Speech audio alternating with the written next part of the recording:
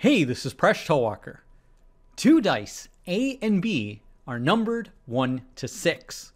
But each dice is unfair. The numbers 1 to 6 do not all show with equal chance. If you roll the two dice, their sum will be a whole number from 2 to 12. Prove it is impossible that all of the sums can occur with equal chance. I saw this interesting problem on Math Stack Exchange. Pause the video if you'd like to give this problem a try, and when you're ready, keep watching to learn how to solve this problem.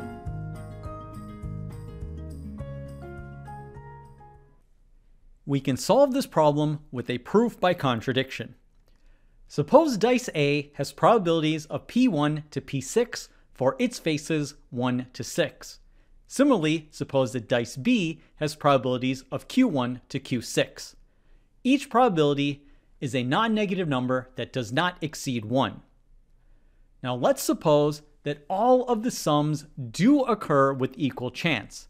That will mean a probability of 1 over 11 to each of the 11 possible sums from 2 to 12.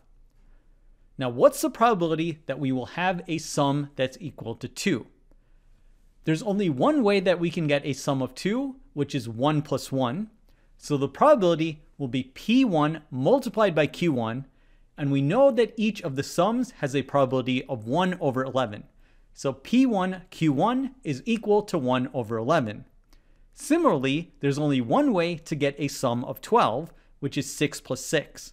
So we have P6 Q6 is equal to 1 over 11. Now what about a sum of 7? There are many different ways that we can get a sum of 7, and the sum of all of these probabilities is equal to 1 over 11.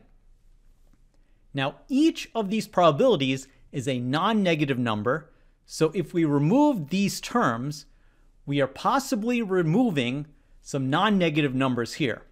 So this will result in an inequality. We have P1Q6 plus P6Q1 is less than or equal to 1 over 11.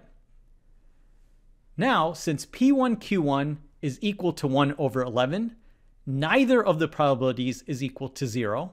And similarly, P6 times Q6 is equal to 1 over 11. So P6 and Q6 are also not equal to 0. So let's focus on a couple of these things we've derived. Since we know that P1 and Q6 are not equal to 0, this must be a positive term, P1 multiplied by Q6. Similarly, P6 multiplied by Q1 must also be a positive term because neither is equal to 0. This means that P1Q6 is less than 1 over 11 and P6Q1 is also less than 1 over 11. So now let's further continue our analysis. Considering the first equation and this first inequality, we can conclude that P1Q6 is less than P1Q1. Considering this pair, we must have that P6Q1 is less than P1Q1. From here, we will have that P6Q1 is less than P6Q6. And finally, we have that P1Q6 is less than P6Q6.